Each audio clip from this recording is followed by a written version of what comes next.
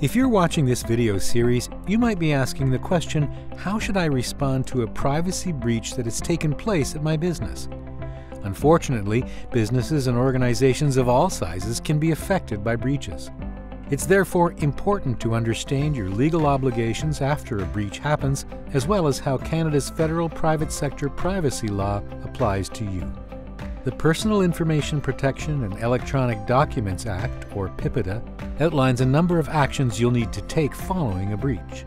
These include notifying the Office of the Privacy Commissioner of Canada, OPC, and affected individuals about privacy breaches, and keeping records of all these breaches. It is an offense to knowingly contravene these requirements, and there can be financial penalties for not meeting your legal obligations. The law defines a privacy breach as the loss of, unauthorized access to, or unauthorized disclosure of personal information resulting from a breach of an organization's security safeguards. In this video series, you will learn about real risk of significant harm to individuals, your obligations for reporting privacy breaches, how to submit a privacy breach report to the OPC, when and how to notify people and other organizations, and keeping records of every privacy breach. If your organization has experienced a privacy breach, it means that the personal information involving one or more individuals could be at risk. When there's a privacy breach, it's always a serious concern.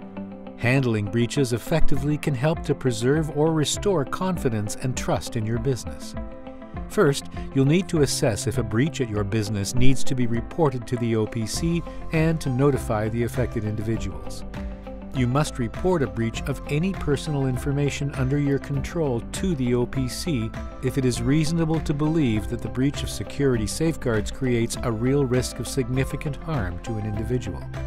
Whether a breach of security safeguards affects one person or a thousand people, you need to report it if there is a real risk of significant harm resulting from the breach. Dealing with breaches transparently is not just about following the law.